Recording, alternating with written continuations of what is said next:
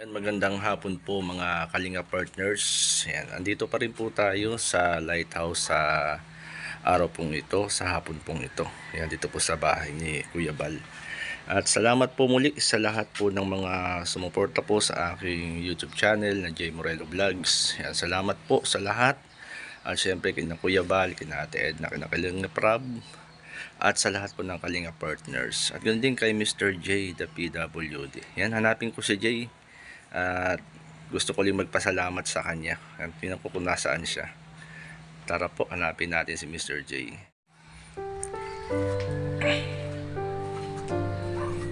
Ayun. At ito pala si Mr. J.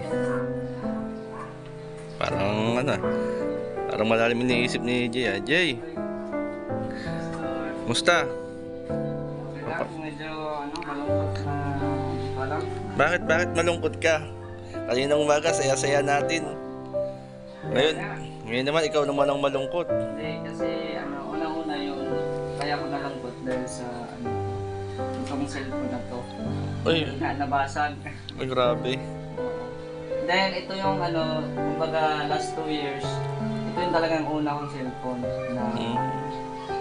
nabili ko sa sarili ko. Oo, na pinaghirapan ko na makasahod sa YouTube nung nandito na ako sa Daet. So, last two years ago. Mm.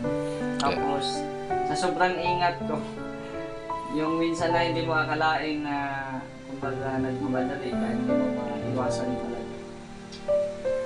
Yun pa yung time na na nalaglag siya, wala, walang case dito sa likod. Ay, kaya pala. Tapos, nung bumagsak, ah, sa dulo siya natama. Dito, kaya walang silbi ang ano, walang silbi ang protector. Dahil sa dulo siya tumama. Nung sa ano, sa bumaka tayo. Nasa gumaka pala nangyari yan. Pero wala akong sinisisi doon. Uh, sadyang accident lang talaga ang nangyari. Dahil nas, parang nasagin ko siya ba sa lamisa. Mm. So, yan yung rason na na na ganito yung screen. Oo. Tsaka laking ano ko dito. Laking memories ko dito kasi ang dami pang mga lalabutin ng buhay pa. Oo. Pero yun nga, parang oh, yan, parang nagsasarili na siya. siya kaya dinadahan-dahan, dinahandahan ko siya para ma-touch-touch ko siya. And then yung pangalawang iniisip ko ay yung ano, yung sahod ko, hindi pa pumasok. Ah, ganun ba? Kaya pala ako yung nagtataka sa'yo eh. Kanina, saya-saya natin. Tapos ngayon, ngayong hapon, palubugang araw. Malungkot, malungkot ka naman. Kasi may mga bayarin din tayo sa Mindanao baga. Kasi may bahay din tayo. So, may mga bayarin. Eh, wala eh. Wala pang pumasok kaya Eh, malay, malay mo, malay mo ngayon, oh.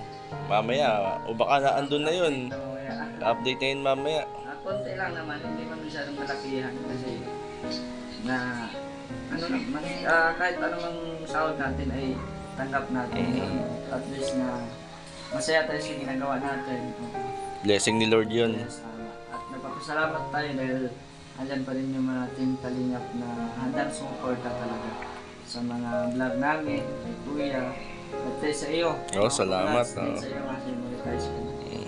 Ina- Makaranas ka na din ng Oo. makasahod sa YouTube. Katas ng YouTube. Katas ng YouTube, Kaya ano. tanungin kita, Pastor, kung sa unang sahod mo, ano na gagawin mo? Kung sakaling may una kang sahod sa YouTube. Ako, unang sahod ko, Jay, ay talagang ano yun. Tutulong natin yun, Jay. Tulong natin yun. Yung unang sahod natin. Nung ako naman, ang una kong sahod dati, kasi hindi ko pa nakilala si Kuya, kasi 3 years na din ako ng YouTube.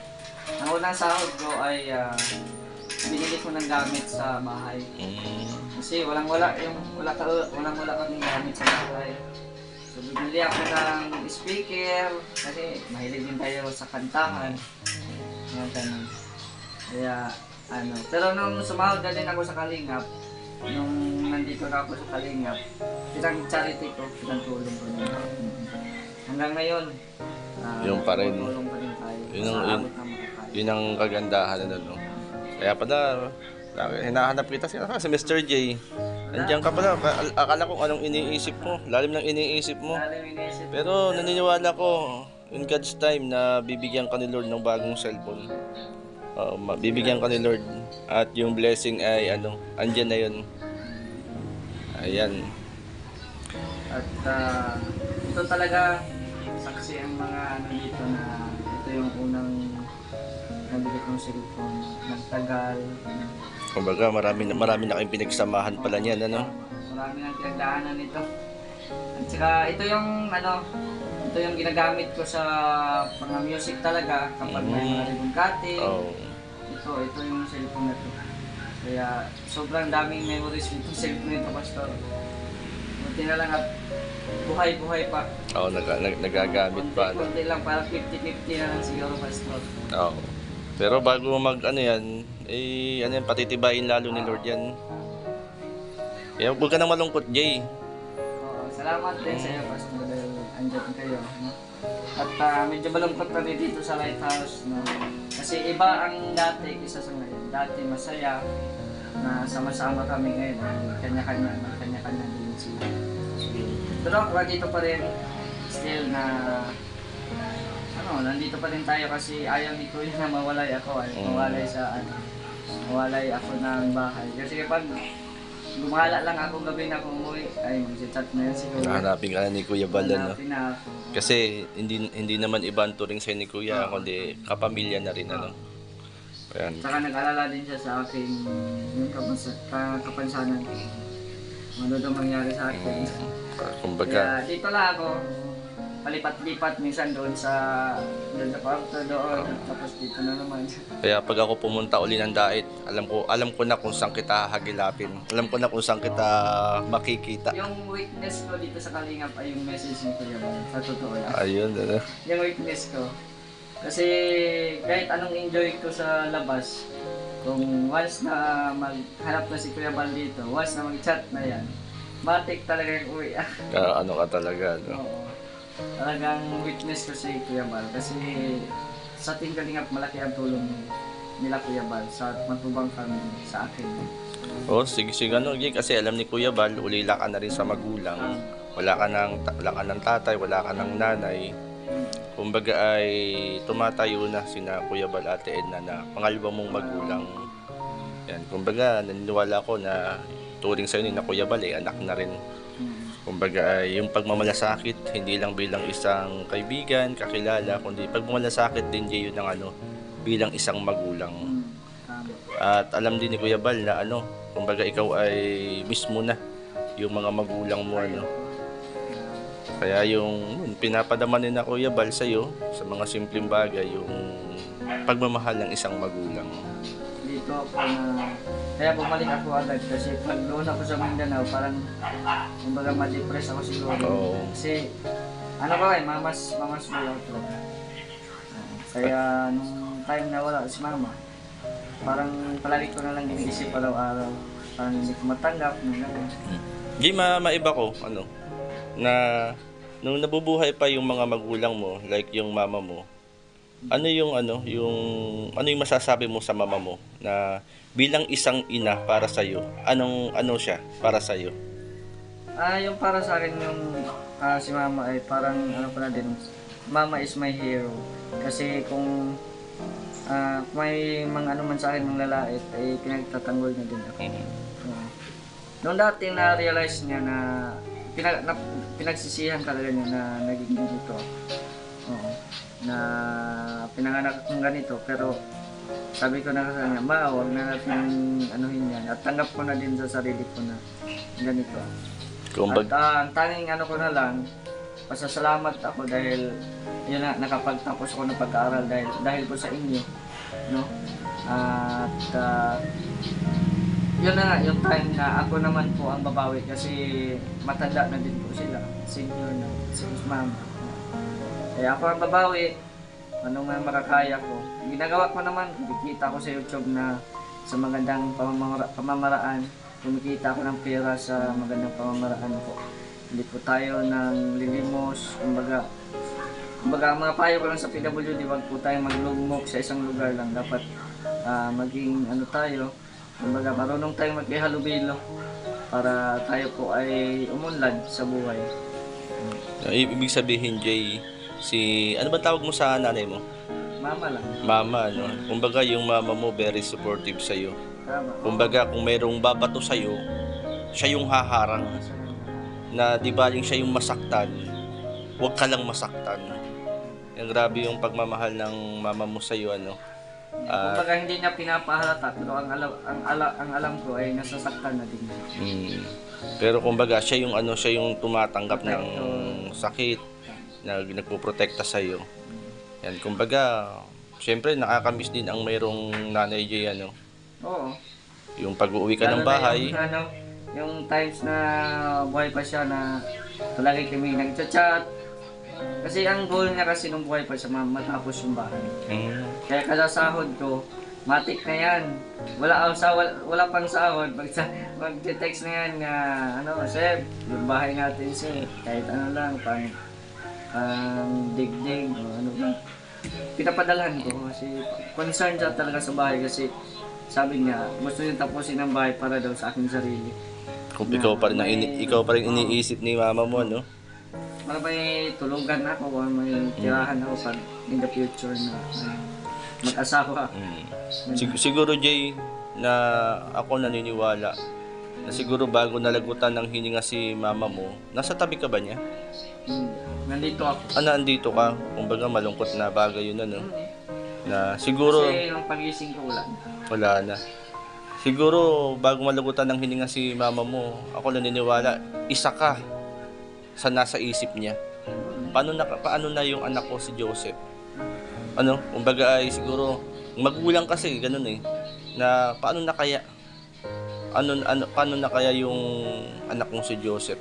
Wala nang magpoprotekta sa kanya. Kaya ano? Kaya ano Jay, talagang ako naniniwala sobrang mahal na mahal ka ng mama mo ano. At siguro kung buhay siya ngayon, isa siya sa mga nanay na napakasaya. Sa kasi ikaw ganyan yung kalagayan mo pero hindi kumbaga yung pamumuhay mo wala normal parang walang kapansanan ano na siguro kung buhay si mama mo ipagmamalaki ipagmamalaki ka talaga niya Ayan, Jay, ngayon, na, yung mama mo, ganun ano sa'yo. Ngayon, ikaw naman, bilang isang anak sa mama mo, ano yung, ano yung masasabi mo? Para sa mga makakapanood nito, ay mapulot namin ng mga anak yung mga bagay na dapat naming gawin, tularan na bilang isang anak. Ang masasabi ko lang, salamat dahil sa, sa pag-aalaga.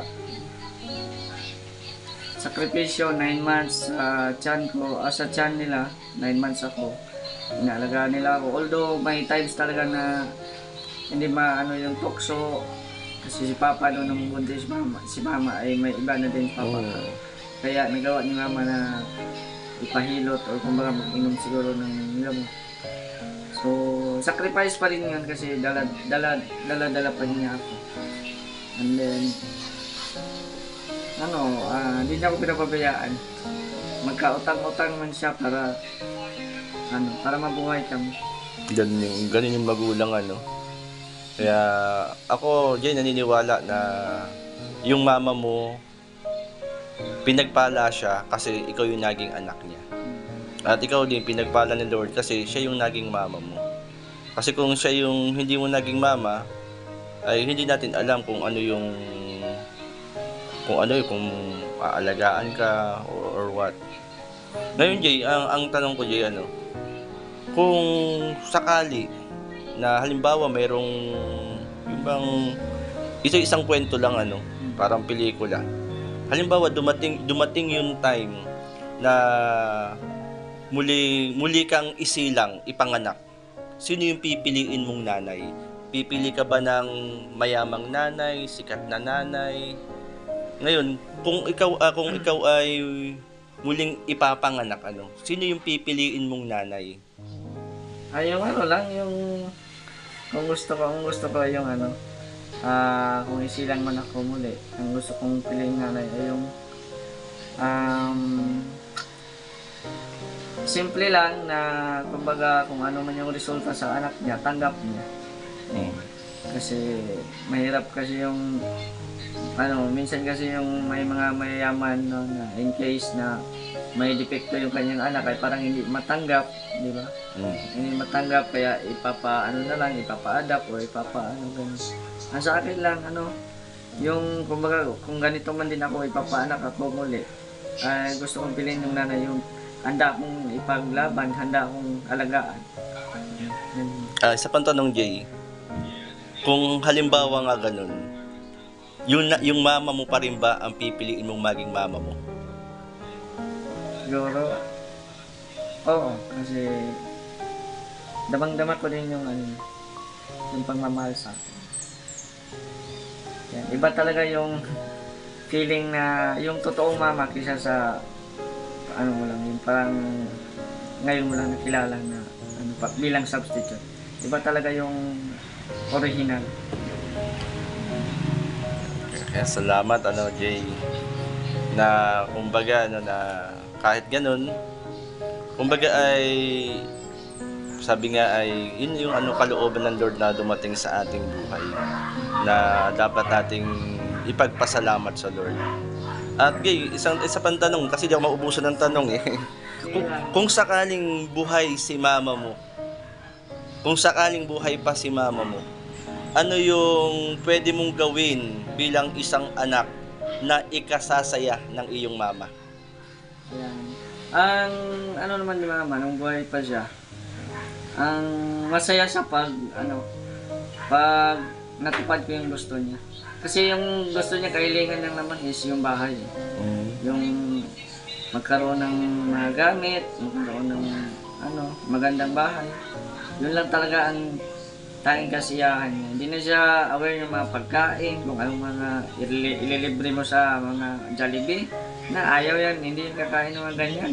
Kasi gusto niya yung, kumbaga, gusto niya yung Bisaya, Bisaya, ano, native talaga ng manok talaga. kakainin niya kaysa sa mga Jollibee na ganyan, ganyan. Or mga mamahaling ano, restaurant. Hindi siya ano yung mga ganyan. Gusto niya material na bagay ang makikita sa aking ano sa aking pagsisikap. Dapat may material na bagay kang maipundar no? para sa bandang huli may magagamit. Kumbaga siguro ay yun ay gagawin ng mama mo hindi para sa kanya, kundi para sa iyo rin. Oo, para sa akin. Para sa iyo din yun. Ah, tanong ulit ako, Jay, okay lang ba? Sige lang, Tan- Pastor. tan- tanong ko, Jay, kung sakaling buhay pa si mama mo, saan mo siya ipapasyal? Uh, pagpalagay natin, Jay, si mama mo naandito, halimbawa, na, naandito siya, kasama natin. Saan mo siya ipapasyal? Kung ano, sa akin naman, kung gusto ni mamang pumasyal ay ano man, kahit saan, kahit saan pastor kasi ano, um, para ma-appreciate din ni mama na kaya, kaya ko na or kumbaga appreciate din ni mama na kumbaga ako naman yung magpapalibre sa kanya. No? Ah, kahit saan naman, basta magkasama lang kami, ang importante ay yung samahan namin dalawa and then yung ano times na pumunta siya dito nung nagkasakit ako. Ano, pinuntahan ka dito? oo, pinuntahan ako dito. Grabe, ano? yun. first time siya sumakay ng eroplano nun. Pinuntahan ka dito. Oo, nang walang pagkalinlangan pinuntahan niya ako dito. Kasi hindi din madali yung pinagdaanan ko eh. Yung nagkasakit ako dito. Kaya pinuntahan ako dito. Nang walang pagkalinlangan ni mama. Kaya grabe na, nag, nakapunta si mama dito nang walang oras talaga Talagang, talagang pinuntahan ka. Kumbaga, talagang bilang isang nanay, ano, y- yung ano, yung pagmamalas, yung pagmamalasakit, ano. Grabe yung, yung pagmamalasakit sa iyo nung ano, nung, nung mama mo. At ito pa, Jay, na naya, nayakap mo na nung buhay pa ba si mama mo, nayayakap mo siya. Niyakap ko. Kasi nung times na umuwi ako, nasa hospital siya. Kaya lagi kong nagbantay doon. Nabantayan ko siya. Para, ayun nga, para lumakas siya ulit. Kasi, yung isa din na yung hospital, umuwi din ako noon. Kaya, ano lang talaga. Kaya mamas boy ako eh. Okay, Jay, na, na, nabanggit mo na ba, nung buhay pa si mama mo, nabanggit mo na ba sa kanya na, Mama, I love you, nasabi mo ba sa kanya yun? Um, medyo hindi ko pinapakita sa kanya or pinapadama or anong tawag na? Sinasabi, Hindi ko sinasabi pero alam na ni mama na concern ako. pinapadama mo. Pinapadama. Yan, kung sakaling bigyan ka ng Lord ng pagkakataon, na ma- halimbawa, no, kung sakaling buhay si mama mo ngayon, kaya mo bang sabihin sa mama mo na, Mama, I love you, mahal na mahal kita. Ayun. Yung mama ko talaga eh. Ah, dahil siya, siya na lang yung parents ko na nabuhay kasi maagang namatay yung papa ko. Kaya damang-dama ko yung pagmamahal niya at uh, oh, love na love ko din siya. Jay, halimbawa si mama mo nanonood ngayon. Halimbawa, nanonood ngayon, ano, kaya mo bang sabihin sa mama mo, Mama, salamat. Mama, mahal na mahal kita. Mama, I love you. Kaya mo bang sabihin yun, Jay? Halimbawa, halimbawa si mama mo nakikinig ngayon. Imagine na si mama mo nasa harapan mo ngayon. Paano mo babanggitin sa kanya yung Mama, mahal na mahal kita. Mama, I love you. Mama, salamat. Paano mo babanggitin sa kanya yun?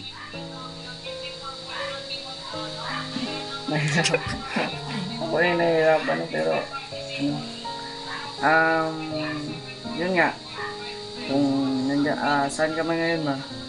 Ano? Um, mahal na mahal kita. And then, ano, salamat dahil sa short time na magkasama tayo ay nadama ko yung pagmamahal. Tsaka, I love you. Napa, napakabait mong anak, Mr. J. Yan. Salamat, Mr. J, sa ano. Ah, pasensya ka na kasi nakita kitang malungkot. Sinagad ko yung pagiging malungkot mo. Away ka nila pa. Yan. Praise the Lord. Yan. Ito, Mr. J, tingin ka muna sa camera. Yan. Away sila.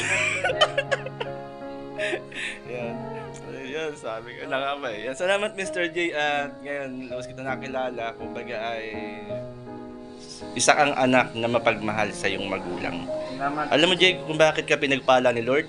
Kasi biblical naman eh. Sabi ng Ephesians chapter 6 verse 1 hanggang 3, Mga anak, sundin ninyo ang inyong mga magulang alang-alang sa Panginoon sapagkat ito ang nararapat. Ito ang unang utos na may kalakip na pangako. Ganito ang pangako, ikaw ay giginhawa at lalawig ang iyong buhay dito sa lupa. Alam mo ba kung bakit ka binibless Lord ngayon? Dahil isa kang anak na kung saan ay mapagmahal at masunurin sa iyong magulang. Kaya, Jay, congrats. Ayan. Salamat, Pastor. Salamat ha. Nakita si Jay. Ayan, salamat po. Ayan, salamat. And God bless, Jay. Salamat, Pastor.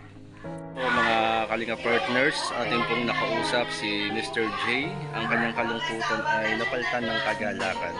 Kaya buong puso at patuloy natin suportahan si Kuya Bal Santos Matubang, Ate Edna Vlogs at Kalinga Prab at ang lahat po ng Kalinga partners. Kaya marami pong salamat at salamat din sapagkat na-monetize na po yung ating YouTube channel. Kaya don't skip po sa mga ads at laking tulong po yun para tayo po ay sama-sama makatulong. God bless po sa bawat isa.